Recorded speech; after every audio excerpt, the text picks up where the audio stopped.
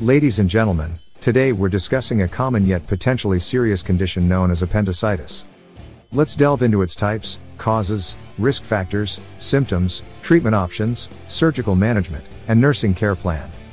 Types of appendicitis. Appendicitis typically presents as acute or chronic.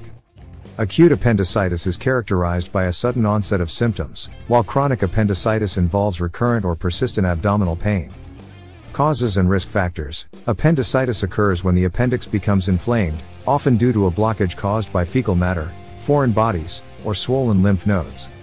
Risk factors include a family history of appendicitis, a diet low in fiber, and certain gastrointestinal conditions. Symptoms Common symptoms of appendicitis include abdominal pain that starts near the belly button and migrates to the lower right abdomen, nausea, vomiting, loss of appetite, fever, and abdominal tenderness. Treatment options Treatment for appendicitis typically involves surgical removal of the inflamed appendix, known as an appendectomy. In some cases, antibiotics may be prescribed if the diagnosis is uncertain or if surgery is not immediately feasible. Surgical management Appendectomy can be performed using either open or laparoscopic techniques. Open appendectomy involves making an incision in the abdomen to access the appendix, while laparoscopic appendectomy involves smaller incisions and the use of a camera and specialized instruments for removal.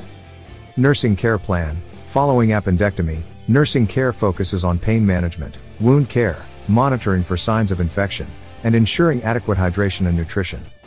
Patients are encouraged to ambulate early to prevent complications such as pneumonia and deep vein thrombosis. In conclusion, appendicitis is a condition that requires prompt recognition and intervention to prevent complications such as perforation and peritonitis. Understanding its types, causes, symptoms, treatment options, surgical management, and nursing care plan is essential for healthcare professionals to provide optimal care to affected individuals. Visit our website bazaarbiblio.com for the notes and subscribe for more. Thank you for your attention.